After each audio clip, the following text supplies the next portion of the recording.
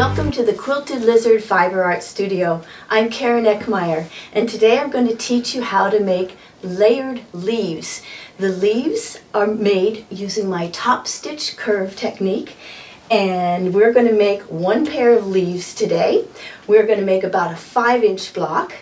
Behind me you see these are one and a half inch blocks. So I'm not going to show you exactly how to do those but once you learn the basics you'll be able to make a leaf any size you like. So the technique we're using today is uh, curves that are top stitched and it's free form cutting.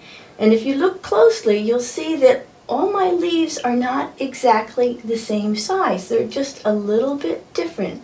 So it's okay. Um, don't worry about them being exactly the same size. That's the charm. Mother Nature makes leaves different sizes also. Um, you'll notice here that the top stitching is done about an eighth of an inch from the edge. I like that look. It gives it a little extra texture. You can stitch closer if you like. And here's an example of the smaller leaves. So let me show you how this is done. To make our leaf box, we're going to start out with two six and a half inch squares. One is dark, one is light. They don't have to be greens, but we want a high contrast. So I've got my dark and my light. And this would be if I were doing a, a tinier one. Here, we'll put that up there for now. So this is free form cutting, alrighty, but I'm going to give you some guidelines. Um, the first, I'm going to mark a little mark here one and a half inches in from the right corner. And then I'm going to mark, oops, my, my squares are not totally aligned, but don't worry about it. We want it as close as possible. All right, we're not aiming for precision here.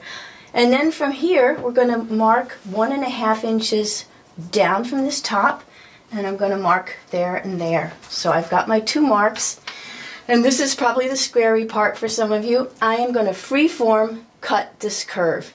If I cut way up like this, I'm going to have a fat leaf. If I'm really gentle with my curve, I'm going to have a skinny bamboo leaf. Both are right. You're going to find out what your comfort zone is.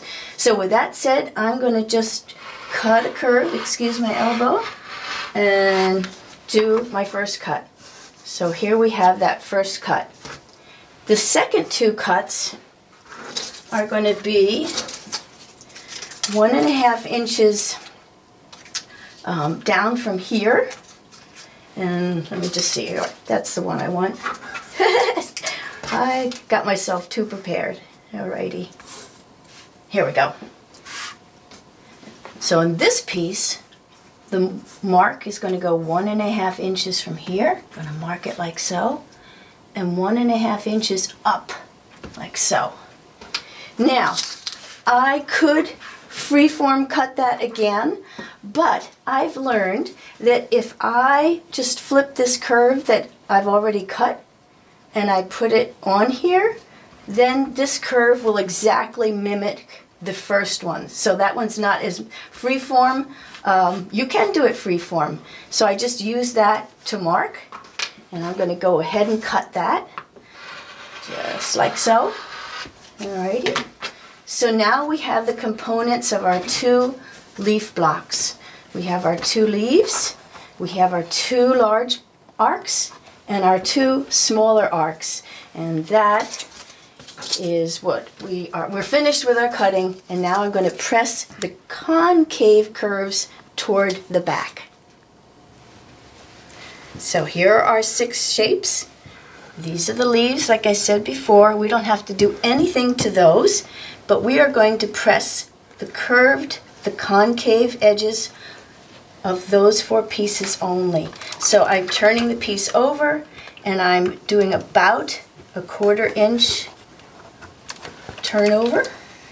Okay. You can probably hear that I have steam in my iron. That is fine. That helps keep the edges stay flat. Um, you can use a spray starch also.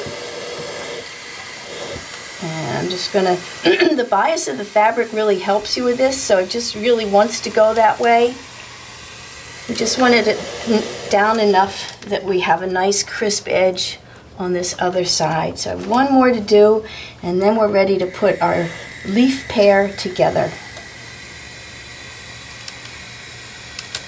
Alrighty, now we're ready to take this to the sewing machine and do our top stitching. Okay, we're ready to top stitch now and we're going to take a light leaf and put it with one of the smaller arcs and the dark leaf with another smaller arc. You can just tell, see that's the smaller. So that's the one that we want to start with. And I'm going to eyeball, I'm going to just say that's about the center of that. I'm going to overlap it only a quarter inch, like a seam allowance. And on the ends here, it's only going to overlap or extend about the width of your finger. And I'm just going to pin that in place because I don't want it to move. On the little tiny, tiny leaves, I'll sometimes just do a little dab of glue to hold it in place. Okay, so I got that pinned.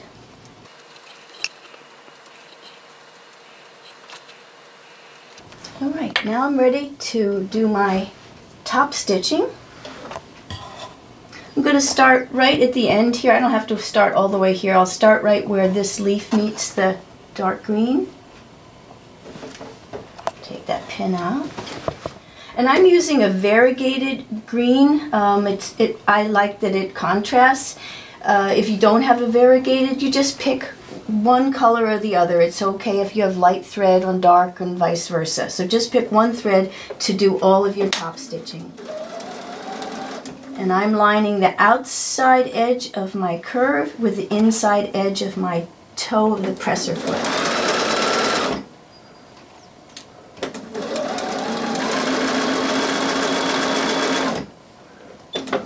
You might want to pivot a couple times that first go around and make sure we're still clear here.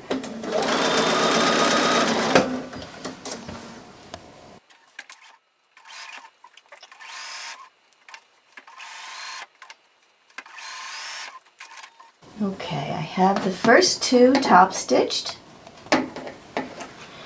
There isn't any waste on the back. Alrighty, you should have this quarter inch seam on the back. Sometimes it's not exactly perfect as long as you've caught the fabric and you don't have a hole. Now that we have our first two arches on, we're going to put the second two on, the larger arcs. I'm going to do that the same way we put the first one on. I'm going to just try to find the center there, overlap it about a quarter inch. And on this one, it's going to extend beyond maybe two fingers width, okay? This is exact measurement, as you can tell. So it overhangs a little bit there. And again, I'm only overlapping about a quarter inch. I'm not wasting fabric.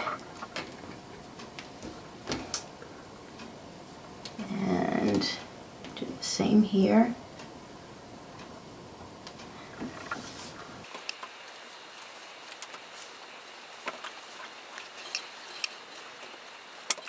Now we're ready to top stitch.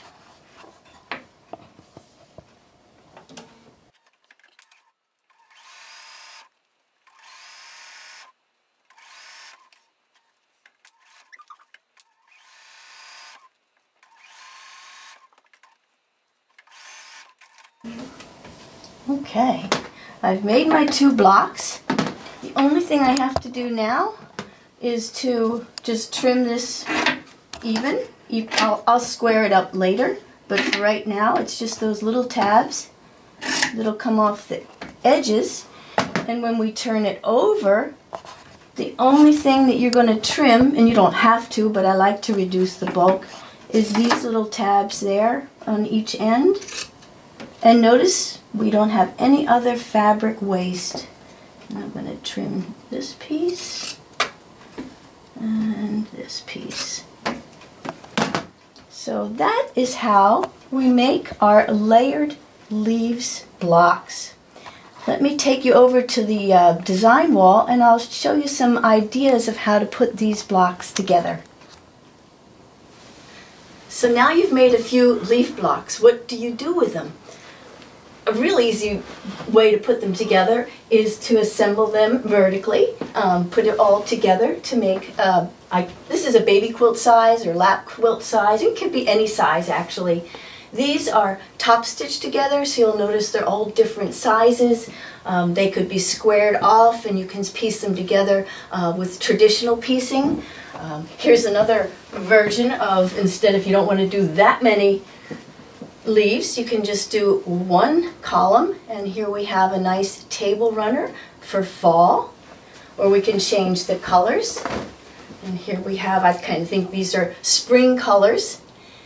And so if this is interesting to you and you'd like to learn more about it and maybe how I embellish the leaves with the yarn and, and other possibilities of adding them to rose twirls. This is not in the book, but the rose twirls and combining leaves and rose twirls are in the book, Wiggles and Waves.